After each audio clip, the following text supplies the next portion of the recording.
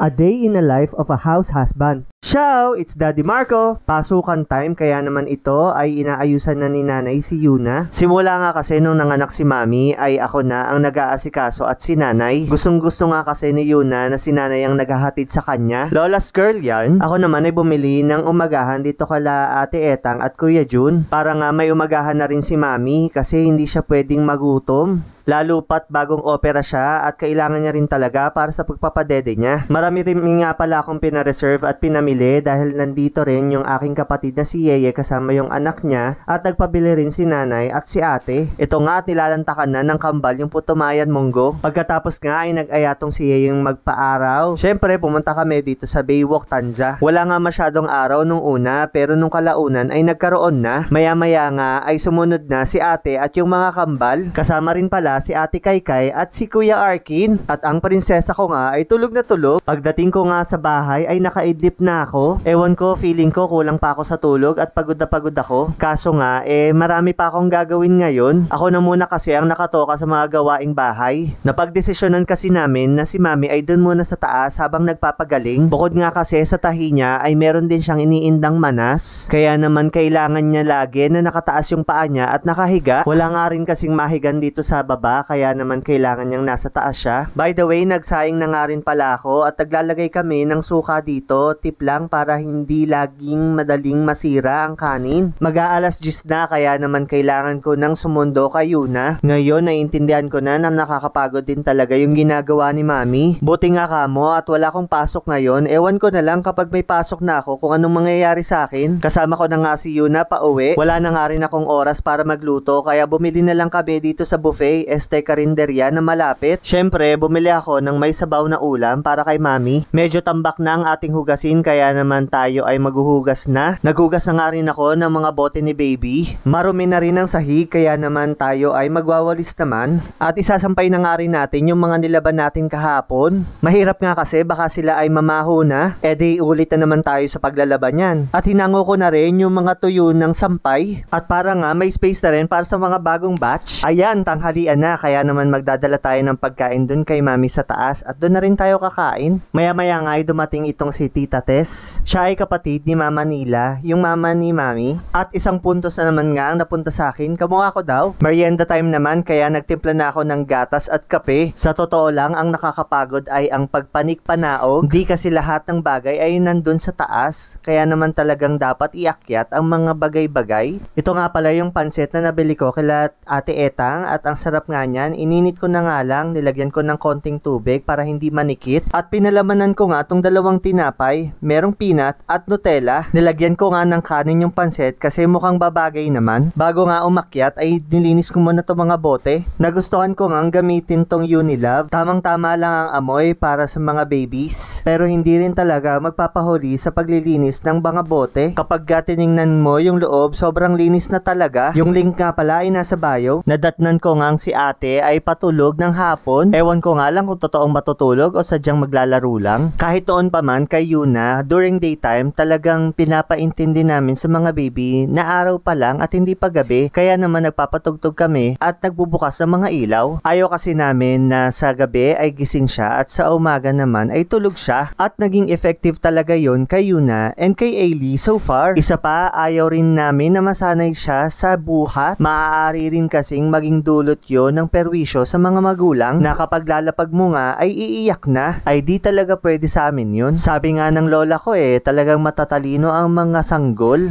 dahil malakas ang pakiramdam nila. Pero dapat mas matalino tayong mga magulang. Nasa ating mga kamay kung paano natin sila palalakihin. Maya-maya naman ay nilinisan na ni mami si Ailey at pinapadede na nga sa feeding bottle niya. Ang laman naman ng bote ay gatas na mula kay mami. Pansamantalang sa bote muna nga siya hanggat hindi pa kaya ni mami dahil sobrang sakit talaga. Ikaw ba naman ang magsugat ang nipple tapos iba pa talagang makadede si Ailey? Sobrang gutom lagi at mukhang satisfied naman ang baby sa kanyang dinede. Wala ngang imik at reklamo kahit na panay halik ng ate niya. Kinakausap nga siya ni mami at tingnan nyo parang matanda na kung tumingin. Aakalain mo nga na parang nakakaintindi na siya. Ay kakyut mo talaga Ailey. Pansin nyo rin ba na parang mas mahaba si Ailey para sa isang sanggol na ilang araw pa lang? At kung umubos nga ng dede ay parang hindi na akma talaga para sa isang newborn baby. At total nga na marami siyang nadede ay magpa-birth na muna tayo. At habang karga ko nga ay inantok na talaga si Ailey.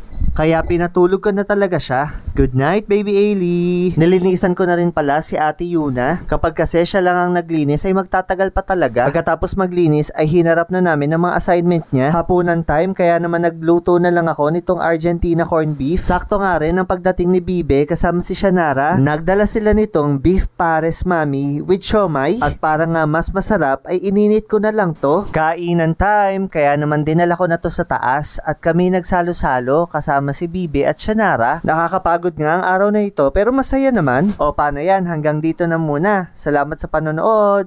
Ciao!